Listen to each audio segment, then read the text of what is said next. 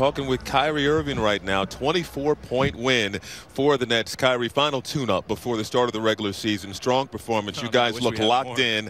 how would you describe how dialed in this team is right now? Uh, man, we're I, I can't even say we're fully dialed in yet.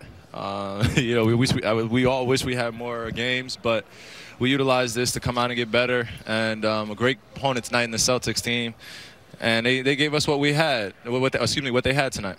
I know you're focused on the task at hand with your Nets teammates, but we saw the jersey swap moment, a moment ago. What was it like to finally be able to compete against some of your former Celtics teammates?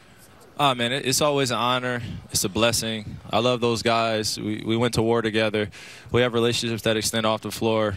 And whenever we get to compete against each other now on separate teams, you know, we all relish in it. You know, they're competitors, I'm competitors, and that's that's the reason why um, you know we are who we are. So we're gonna focus on what we do, what we're doing, and I know they're focused on what they're doing. A lot of positive energy. Speaking of which, you know, we saw the shot of you burning sage before the game. Do you feel like it served yeah. its purpose, and could we see more of it uh, before games moving forward?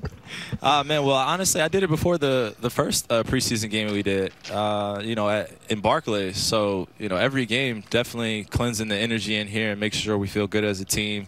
Um, you know, don't want to disrespect any other team. You know, some people would think I was doing some ritual stuff before the game, but no, it's just sage from my native culture. Just making sure we cleanse the energy in here and we play well. And I want everybody to stay safe, not just my teammates. Guy, we really appreciate it. Thanks so much. Yes, 17 points, 7 rebounds, 5 assists for Kyrie Irving tonight, Rooks. Yeah, big time performance from Kyrie. The Sage is working. That'll wrap things up for Boston. Once again, the final score, the Nets 113 and the Celtics 89. Please